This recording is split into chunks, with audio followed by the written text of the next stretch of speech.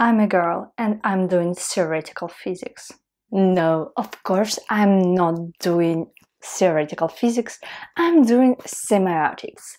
And uh, who does theoretical physics? I believe many girls out there just go and search for them. I also have my several favorite YouTubers who are girls and they do theoretical physics. Me, I'm learning from my younger brother who does theoretical physics and Stephen Hawking. My name is Daria and you're watching Un po' d'aria show. Today we will talk about latest book by Stephen Hawking, a brief answers for the big questions. Are you excited? I prepared something very special for you here. Of course, this book was published already after his death, and it is rather a collective work which present his writings which were not published before. And I have to say that most of you probably know Stephen Hawking as an ingenious scientist in theoretical physics, but he actually had a unique vision of this world. And we will dig a bit deeper right now. First, I wanted to say that when I was studying how to write critical reviews for artworks, and we can consider any book, including this, is a masterpiece, one should actually never really tell you what exactly book about, but tell rather what meaning it will bring to your life go just right forward without long conversations, I will tell you, I definitely believe that everyone should take this book and have it. It's a bookshelf and definitely try to read it. Maybe you won't like it, but I believe that brave and optimistic man Stephen Hawking is the person you need in your life especially now. First, let's say a couple words about our world. I obviously don't want to talk about pandemic or other disasters which happen in politics or economy nowadays because to be frank, these are not everything we should care in our life, even though seems television pretty crazy about it. And besides infinite amount of new technologies which are coming to our life, and you probably notice it when Elon Musk did started his rockets and successfully landed in ISS, connected to ISS, our life will definitely change very drastically in the next 10-20 years. According to some data, about 100 professions would not be relevant for the new economy of the new world. And what relation all this has to the quantum mechanics and uh, physics in general? Well, probably the fact that all the technologies nowadays are existing exactly thanks to the fact that we have quantum mechanics in our scientific world and in our life. Well for example i have possibility to record this video because of quantum mechanics findings and you are able to watch this video on YouTube exactly for the same reason. And how long did pass between first computer and everyone being able to use the technology and being required to know about this technology? Well, less than 60 years. So I believe that our life is going like a snowball and we should adjust with a new knowledge and new skills. And physics and understanding of the physics is one of the skills which needed for you and me even though we probably never work with particles or any kind of uh, CERN equipment. I also have to say that besides everything, Stephen Hawking had amazing sense of humor and you definitely can feel it in the book. And I would like to start with extraction short citation from the part from which we start deepening Stephen Hawking had with paragraph from why we must ask big questions. In this chapter, Stephen Hawking talks about his childhood, and actually, if you did watch the movie, The Theory of Everything, small remark here the theory of everything, a real name for a physical theory explaining how the things work in the universe, uniting quantum mechanics and mechanics of Newton. The theory of everything it's absolutely amazing representation of him.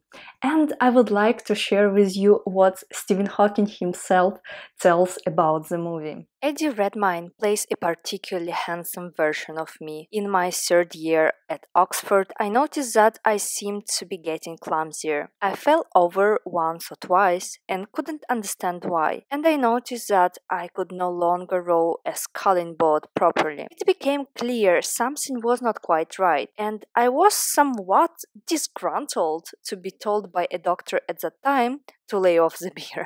And actually, if you ever been in Cambridge or another student campus in Europe, you know that the beer is the local tea.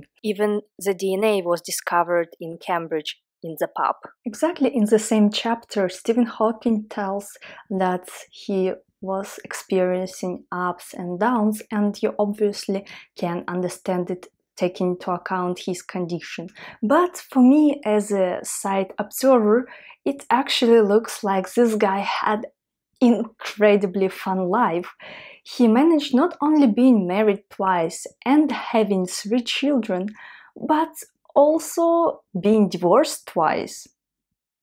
Besides everything, he was very open minded about different projects and almost never tell no if his physical condition did allow to participate in different sitcoms. And we can remember his beautiful appearance with Sheldon Cooper in Big Bang Theory and actually, to my personal perspective, I think character of Sheldon was somehow drawn from Stephen.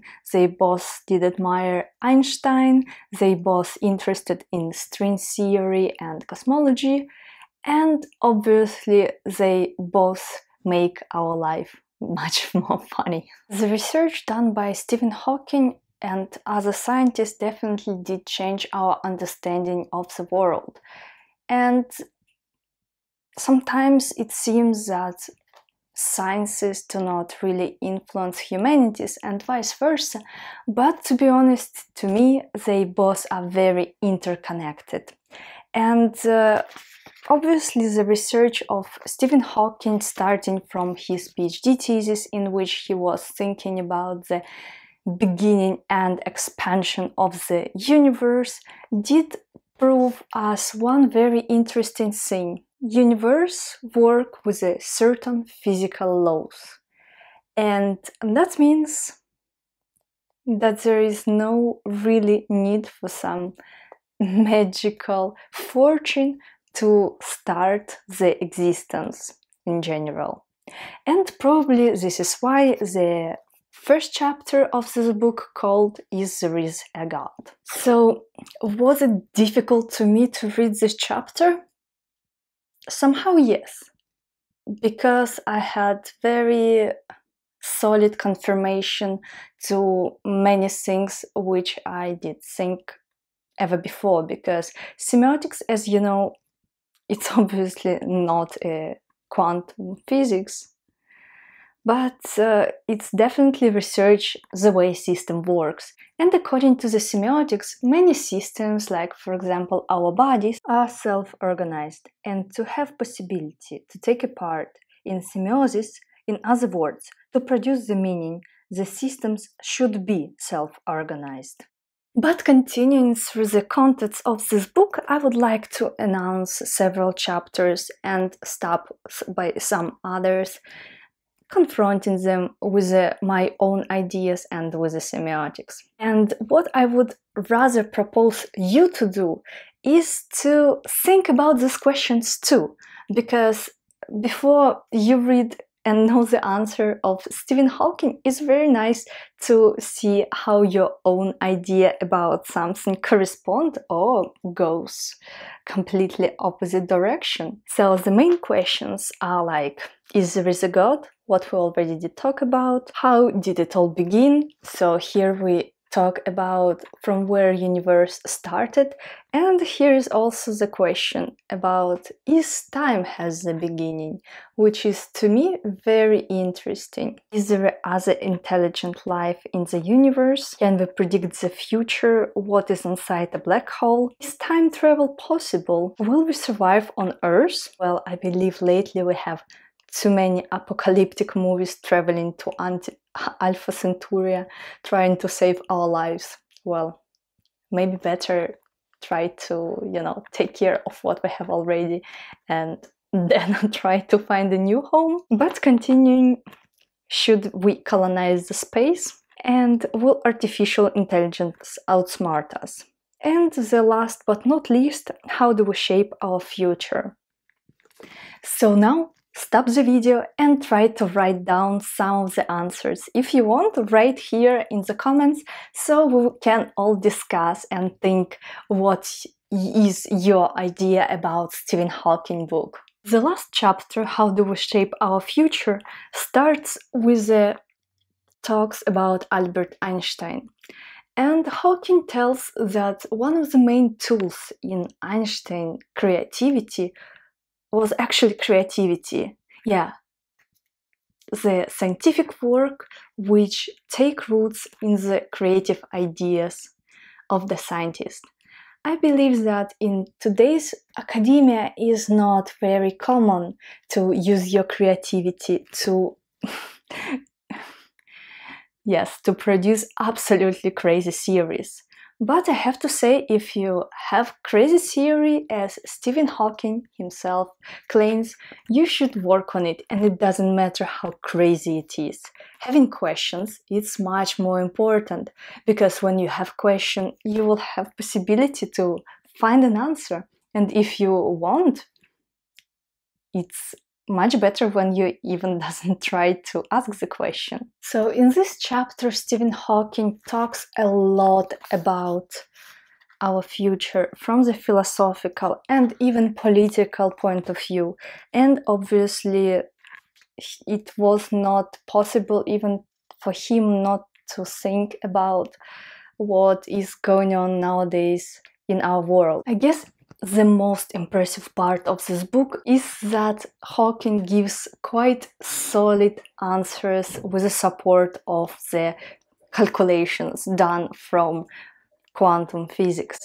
And the fact is that when we think about time traveling or predicting the future, we think about our world, which supposedly works very different from quantum world. So all these questions raised by Stephen Hawking actually make me think about absolutely different perspective to our world. And you know, my mistake was in the fact that I have no patience at all. I never managed to arrive to the end of the TV series without checking on internet what is actually the conclusion of all the events I see on the screen. And obviously, I was reading this book not in the order it's stated here, but rather, you know, in the manner which would allow me to get answers to the questions which interest me the most. And the fact is that quantum physics is not really optimistic science. I mean, it gives you a lot of opportunities and a lot of possibility to see through the things to get different perspective. But welcome to little personal crisis. After all, you realize that you live on a kind of small planet in the universe which is very vulnerable to all these things which happening around the solar system and uh, even on the earth inside the earth. And besides this fact we humans we make our life pretty difficult. So we probably have too much free time so we use it to stay on a nerve of each other. But on the other hand, if you will read this book in a certain structure, exactly as it created here, you will have a really optimistic perspective because Stephen Hawking definitely was an optimist and if he was sad for several days in his life which he definitely describes here he didn't stay sad for very long. And one can read in the afterword written by his daughter that uh, he was amazing man amazing father. He was very supportive. And besides all the problems happening in his life he was getting up every morning dressing up and going to the university to work on the future for the humanity. And I believe this idea lies in the heart of this book. And even if physics may seem to be very impersonal and very complex, I suggest you Stephen Hawking because he knows the things and he tells them with love in a very simple way. I hope this review can be interesting for you and would encourage you to read one or two books by Stephen Hawking or at least watch an interview with his participation and maybe one day even visit Cambridge when we all finally can travel again. Please let me know if this video was interesting for you and useful by sharing or liking it and of course, leave me a comment because I'm desperately looking for the people with whom we finally can discuss Stephen Hawking works from newbie's point of view, so to say. I wish I would have the skills of the theoretical physicist, but I don't yet. I'm working on it. I've tried to. I'm. I did start to read Landau's Yes, it's very complicated if you are not very great in math and physics, but I believe if you have certain determination, you definitely can reach everything. Thank you for watching and may the semiotics be with you.